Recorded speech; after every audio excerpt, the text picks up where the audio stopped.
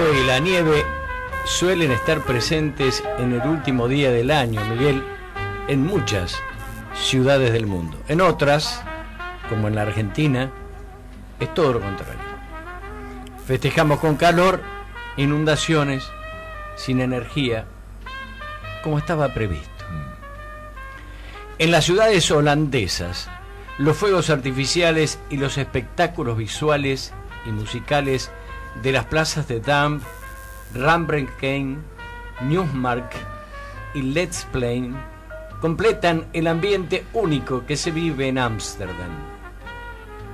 La plaza de Cataluña se llena de gente para tomar las uvas a medianoche y la torre Akbar ofrece un curioso y sorprendente espectáculo luminoso que dejará boquiabierto seguramente a más de uno. Las discotecas barcelonesas tampoco son ajenas a las celebraciones y los locales de la Carpa, Autosuits, organizan sus propias fiestas.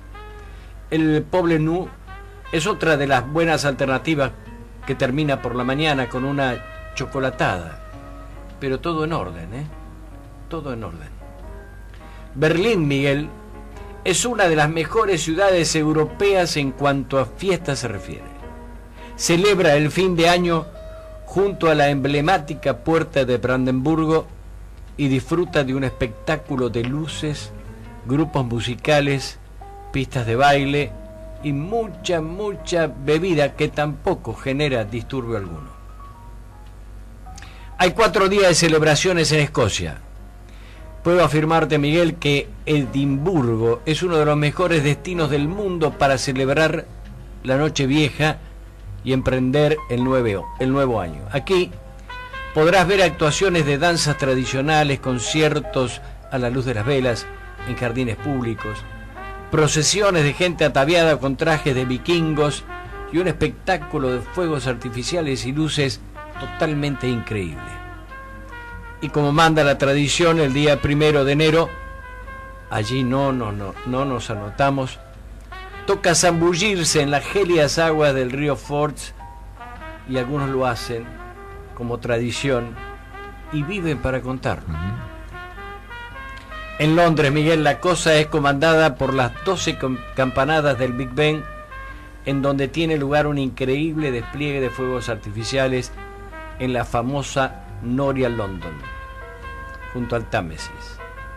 Turistas y locales acuden en masa y van divirtiéndose con diversos eh, lugares donde hay música, hay baile, hay cerveza y acuden en cada uno de los puentes a celebrar el nuevo año.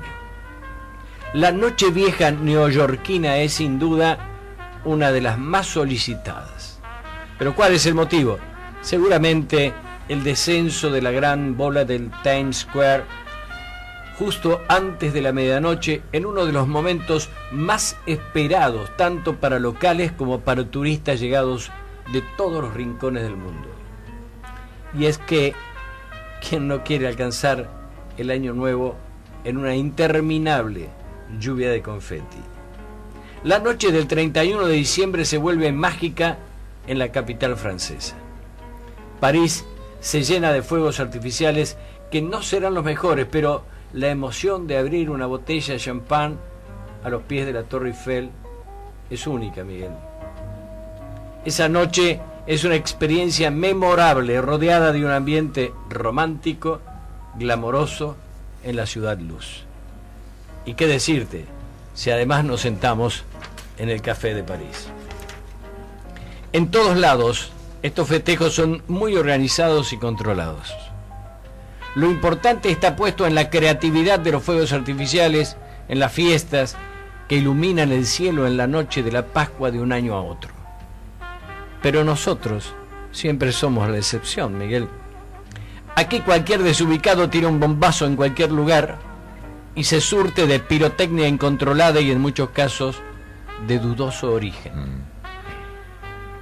Lo hace con total desaprensión sin considerar que su alegre accionar atenta contra personas que hasta se toman el atrevimiento de estar internadas en algún centro de salud o logran alterar inútilmente a cientos de animales que no comprenden qué hacen estos otros animales que se dicen inteligentes. Llamo alegre a accionar porque seguramente alguien podrá explicar qué le significa o provoca como algarabía feliz una explosión violenta de menos de un segundo. Es una pena la quema de dineros en muchos casos importantes para una actitud que contiene tanto paganismo inentendible. Aún estamos, indudablemente, en el otro lado del mundo.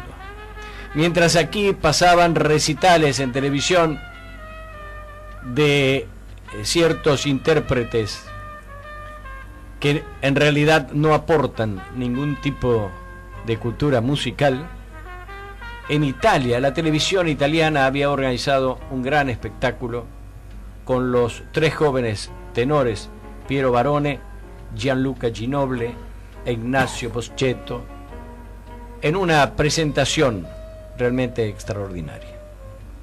Entre el desorden, Miguel, y entre tanto ruido enloquecido, sigue siendo imposible que no se escuchen, y menos si solo intentamos pensar en voz alta.